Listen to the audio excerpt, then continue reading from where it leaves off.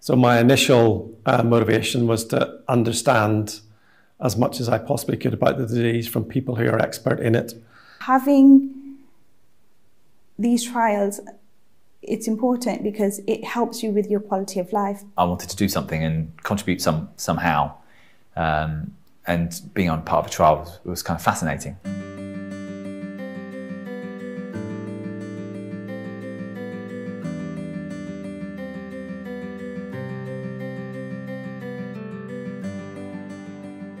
I researched the, the, the, the clinic here and, and there was like rave reviews about the people and the department in general. And I just thought it'd be good to be under the microscope.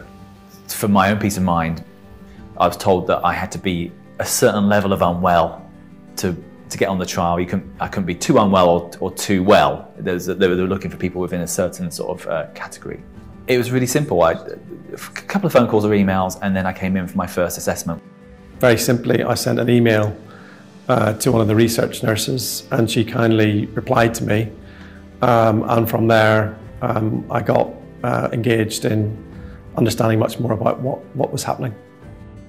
I think I came in for um, a, a normal appointment. The professor mentioned it to me. Oh, we've got this trial coming up do you want me to send you some information? The patients are carefully selected because each trial has individual inclusion-exclusion criteria. Medics often are um, very much aware of what's going on and they're looking for suitable patients. If it's a new study, then the doctor will most likely come and uh, consent the patient to that study. This is a chance for the patient to actually discuss that study with us in full. Ask any questions that they might need answering. Just discuss how it's going to work for them.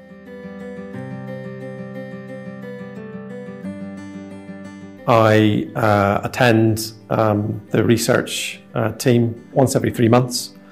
I have various different types of um, blood pressure tests taken. Then I have various bloods taken. And whilst all of that's going on, um, typically I'm getting the next stage of my uh, medication prescribed.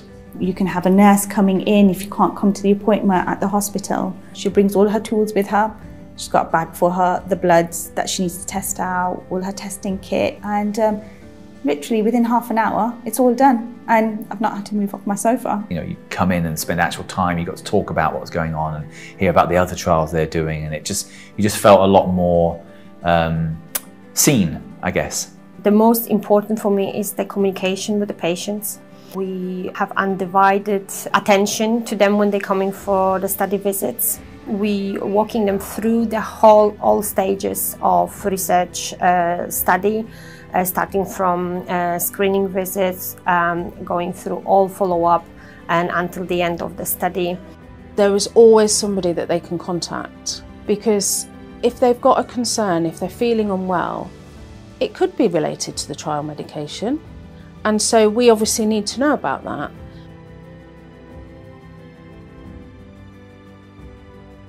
Having a good nurse, I think that is the most important thing of the trial. She's the face of your trial. Uh, I'll ask her questions all the time via messages or I'll call her and she responds as soon as she can. They're so knowledgeable. They know so much about the drug, they don't know so much about the trial, they remember so many details about you, they remember details about me I've forgotten. They seem to know all, all your history and... I would say the research nurses are, are paramount to the process. Number one, because they put you at ease when you come to attend a clinic. Number two, because they're there to ask, answer any questions that you have.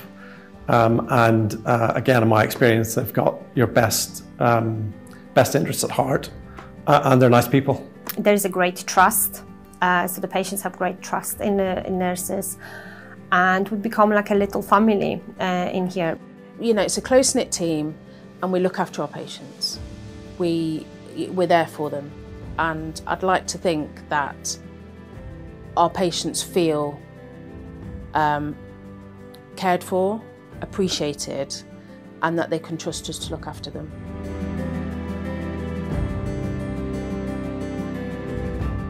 So my initial uh, motivation was to understand as much as I possibly could about the disease from people who are expert in it. Um, but now I'm involved in the trial, um, actually, that's all about providing benefit to other people. The only way that we're going to get closer to a cure is by uh, being involved in the clinical trials and letting the expert people get to a point where they're as close to providing a cure as possible. You are at the front of, of, of the progression of these treatments and you are helping the whole community with IgA. You feel so assured because you're being checked all the time. And for someone who has some anxious thoughts about what's going on and, and every time they feel unwell go, oh, is that, my, is that my kidneys? You're just so reassured by being on the program. If you are thinking of going for some a trial like this, don't overthink it. Just go for it. You've got any concerns, any questions, go through them with the nurse, go through them with the doctor. They're really patient. No one pushes you to go onto a trial. It's your decision to have it, but just go for it. It's a great opportunity to be in. If we don't have any research at all, we're never going to, to develop healthcare. We're never going to find the treatments that people need. And so the only way we can really do that is through research.